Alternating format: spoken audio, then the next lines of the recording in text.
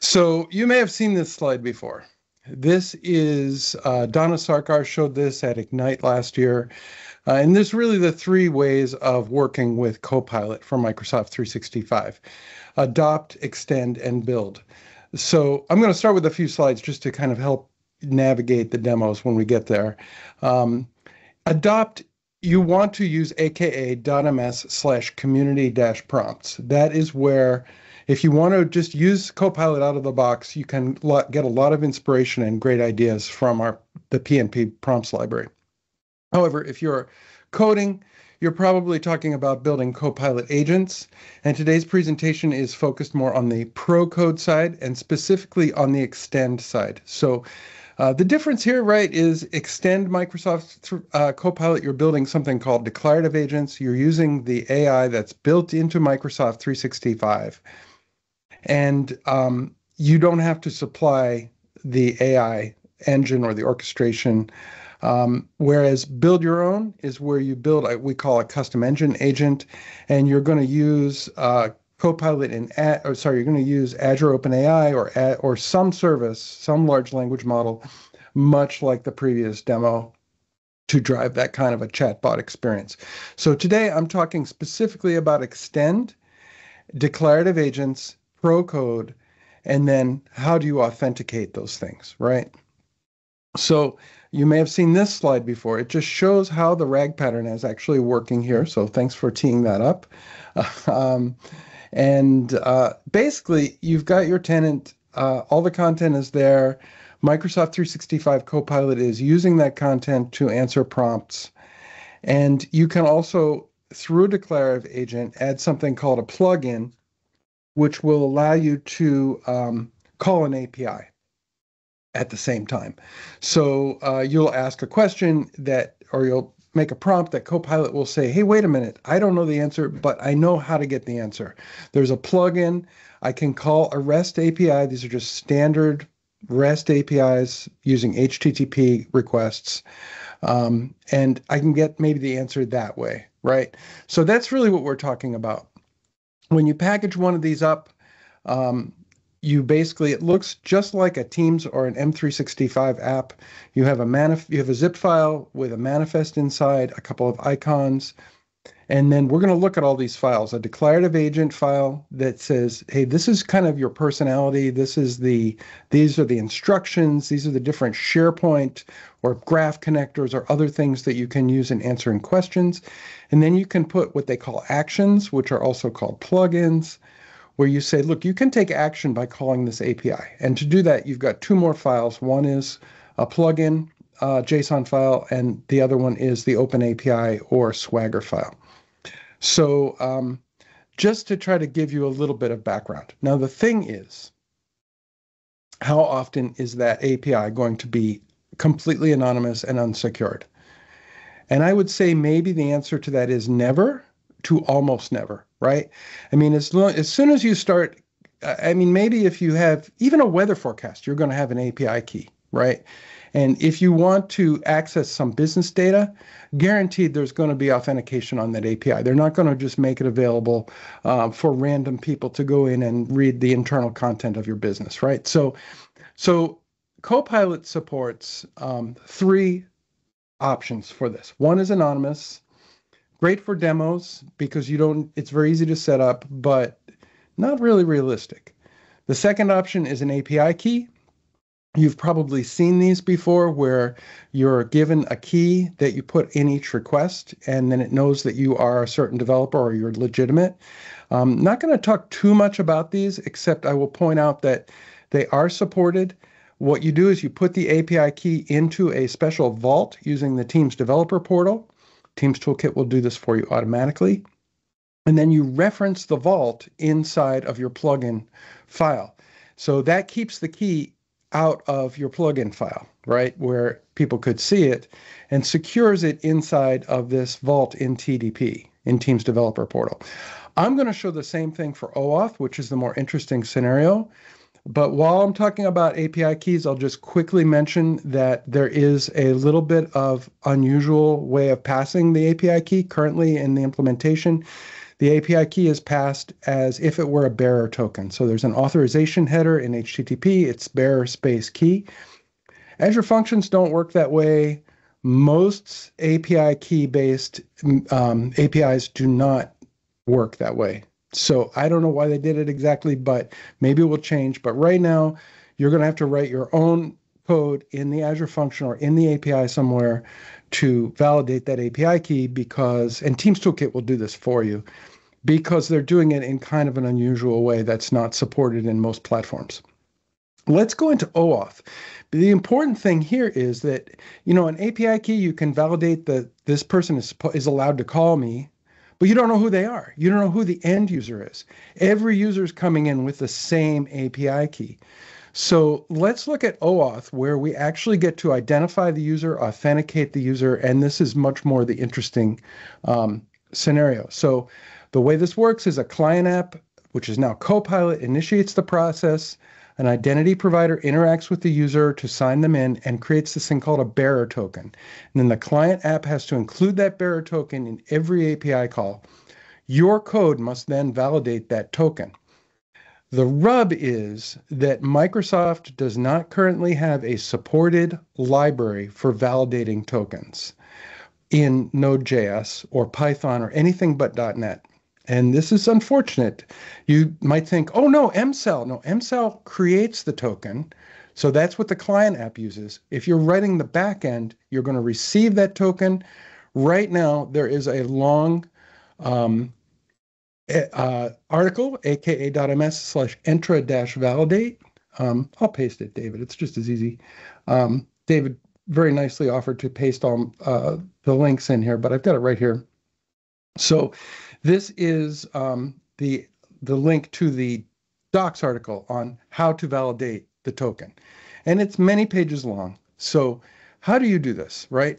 So just to kind of give you the the, the skinny on this, right? So um, the way Teams Toolkit does, if you go into Teams Toolkit and you create a new project, yes, I want a declarative agent, I want API, I want it authenticated with OAuth. What you get is when you're running in Azure, it pushes out this thing called EasyAuth, which is officially called Azure App Services Authentication Middleware to authenticate. And when you're running local through the firewall through a developer tunnel, you're not secured at all.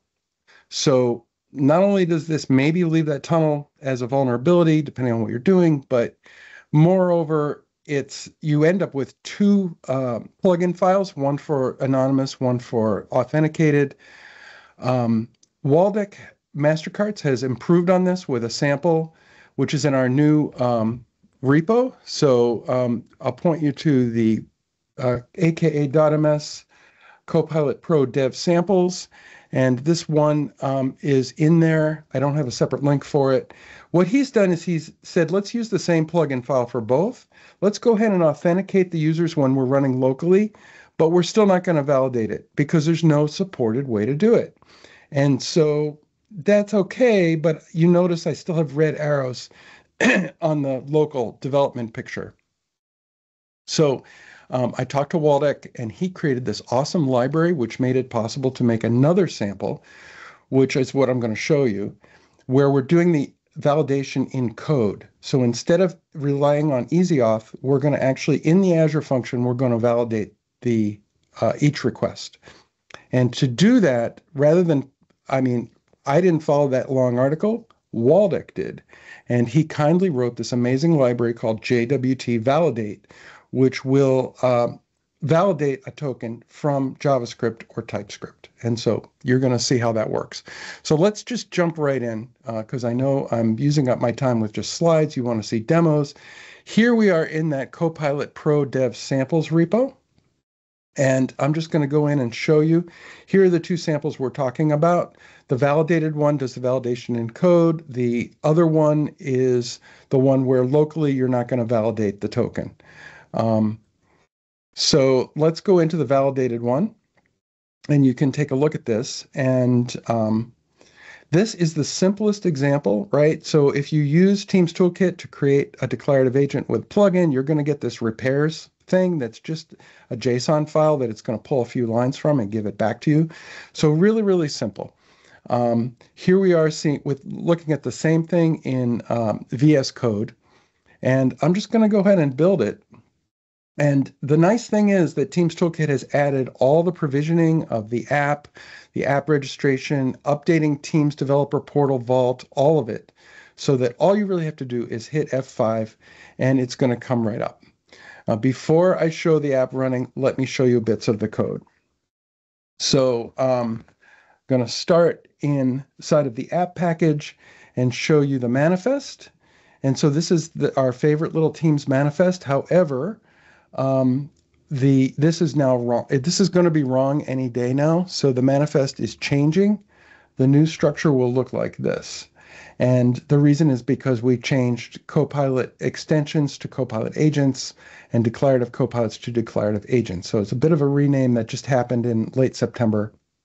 And so that's there. And then if we look inside of that declarative agent JSON file, um, we can,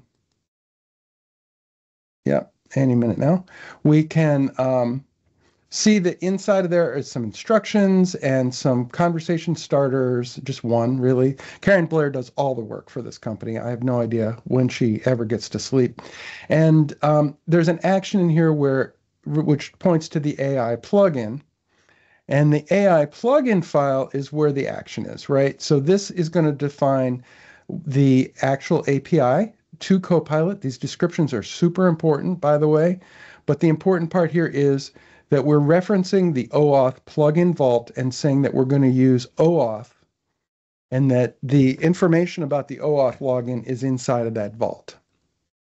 So um, let's go ahead and, and then there's a reference to the Swagger file. So Teams Toolkit, meanwhile, created this application for me. It's an ordinary Entra ID application, but it has to be set up for web um, protocol and authenticate with the redirect URL pointing to this magical place in Teams where it's actually so when it logs you in, Entra ID knows where to that it's okay to send the the access token or actually the auth code back. Um, it uses auth code flow, by the way, for those of you who are into the details on that. And um, and then the other thing that's in here is the Teams developer portal and I can come in and notice a couple of things here. One is that I had, you might have seen very quickly a um, another vault for the, I didn't stop it in time. Uh, you might see another vault for the uh, API keys. This is the one for OAuth, and you can see these are all the standard OAuth settings. If you ever set up a Azure bot framework bot with authentication, these are the same fields. I wonder if it's using the same stuff underneath. Um, so, you know, pretty straightforward actually to fill all this in. Notice that they've added a PKCE option now, most recently to this, which is great, which makes just a bit more secure. So finally, if I go into my code, which is going to receive this, and then I'll run it, um, here is me referencing Waldek's new JWT library. And the way this works is I'm going to get my request in to the Azure function. And um, this is a fairly normal thing. And the first thing it's going to do is look at the HTTP authorization header and look for a token. It's the syntax is bearer space token. So we do a split on space and get the token. And then we've got the validator object. Um, you're you're supposed to reuse the validator object. There's a small race condition in here, so uh, plus points to you if you can find it. It's it's kind of benign. We could end up with multiple validator objects if we got a bunch of requests very quickly at the beginning of starting the service. But in any case, um, and I'm going to fix it. But the point is that we're going to reuse that validator because it's going to cache the keys for Entra ID so that it can validate the tokens without going back for new keys every single request that comes in. And um, then it this is the code to do the validation. So notice you can set these options and say, what do you want to validate on? I want it to be for me. The audience is saying, hey, it, this is for you. Nobody's trying to pawn off somebody else's token on you. And it came from where? From Entra ID. So that AAD app OAuth authority is going to point to um, a URL that's owned by Entra ID. And then the scope is repairs read. That's what we're allowed to do. And then we get the token, uh, or sorry, we validate the token on line 61. It will throw an exception if it's not valid. So if we get down to the lines below it, we actually have access to the user ID and username, and we can log those. So let's go ahead and run that because I know I'm there's a limited time here. I could spend all day on this topic because there's so much to know. So here I am inside of Copilot, and I'm going to bring up that OAuth local solution, show uh, repair records assigned to Karen Blair.